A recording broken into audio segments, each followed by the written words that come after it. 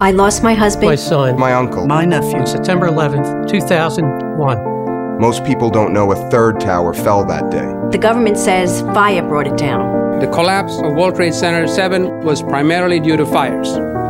I, along with 1,400 other architects and engineers, have found the government's conclusion to be physically impossible. This is Building 7, a 47 story skyscraper that fell on the afternoon of September 11th. The government says that fire brought it down. However, 1,500 architects and engineers concluded it was a controlled demolition. I'm a structural engineer. I'm a New York City correction officer. I'm an Air Force pilot. I'm an architect of 20 years, mm-hmm. member of the American Institute of Architects and have been studying steel framed fireproof buildings uh, for about that long. Fires in high rises have never brought down a steel frame high rise building at all, ever. In the case of Building 7, it collapses straight down into its own footprint at free fall speed in the There's first the 100 feet. It's dropping, as you can see, symmetrically, smoothly, at free fall speed in the first 100 feet, two and a half seconds.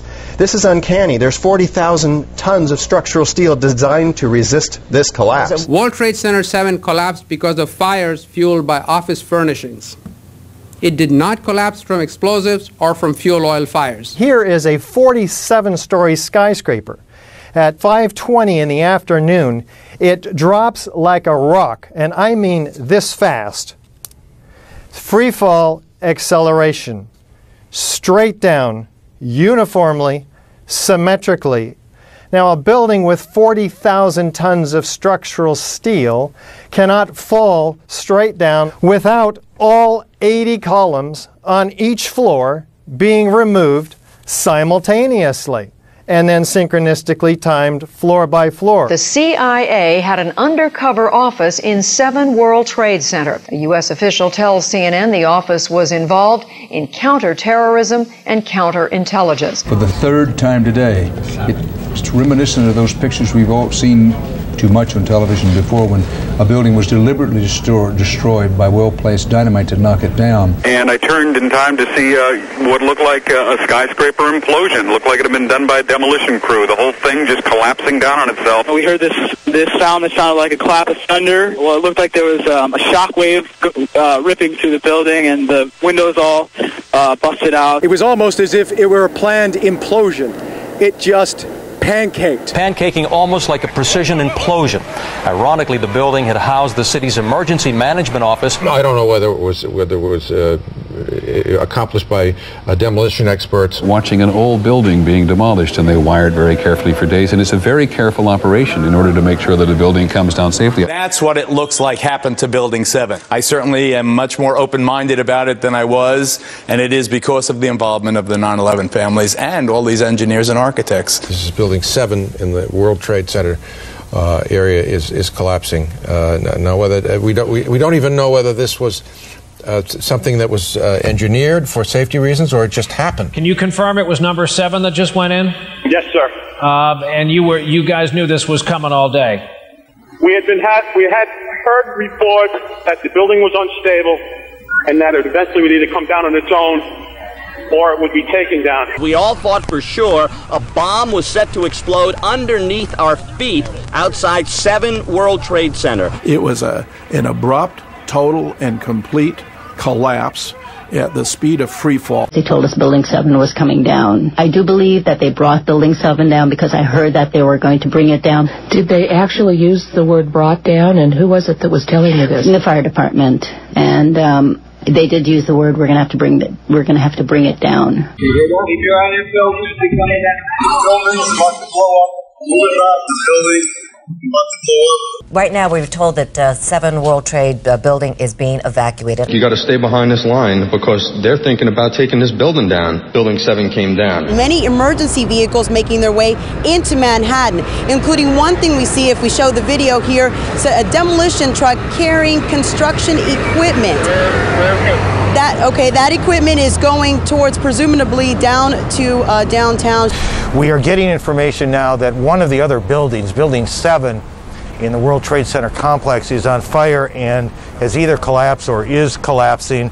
The 47 story Salomon brothers building situated very close to the World Trade Center, has also just collapsed. More on the latest building collapse in New York. You might have heard a few moments ago I was talking about the Salomon Brothers building collapsing. And indeed it has. Tell us about the Salomon Brothers building and its collapse. As you can see behind me, the... Uh, Presumably there were very few people in the Salomon building when it collapsed. We are getting word from New York right now that another building has collapsed. I understand that this is a 47-story building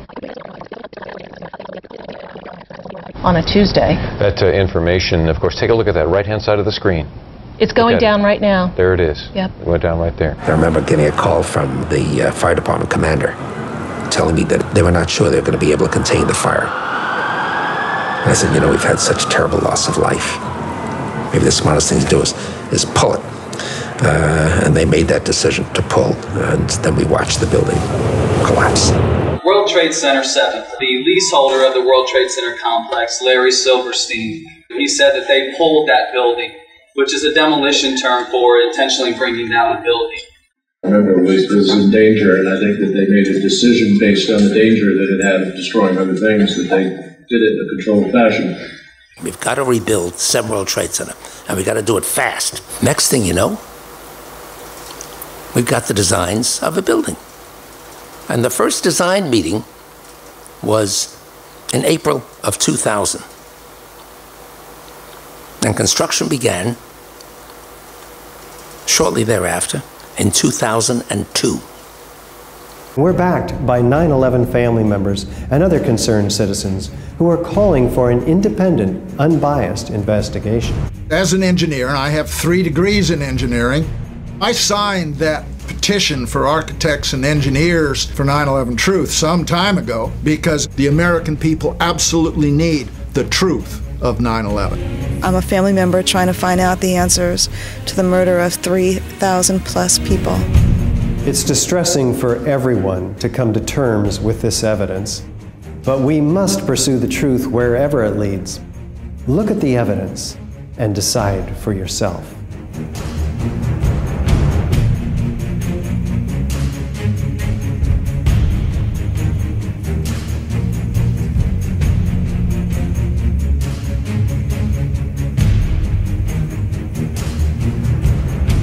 Of course, our focus is on the science of what happened. We want to know how did 400 structural steel connections give way every second during the seven second free fall collapse of World Trade Center 7.